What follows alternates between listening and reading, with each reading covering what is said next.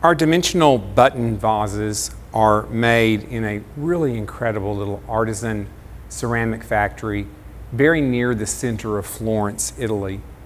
Um, the amazing thing that this factory does for us is they do a hand application of all these design details that we put into our designs and they're able to really achieve something very remarkable with it. If you stop and stare at these dimensional buttons on the surface of this, you can see that some are larger than others and as it goes down to the bottom, they actually go from larger to smaller.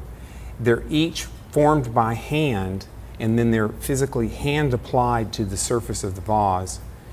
And then they fire them in the kiln and then they glaze them and they fire them a second time in the kiln.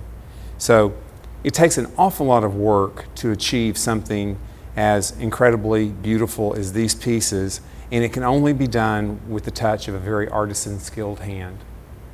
Additionally, each one is hand, hand thrown, and you can see actually the fingerprints of the artisan who threw this piece of pottery on a wheel by hand.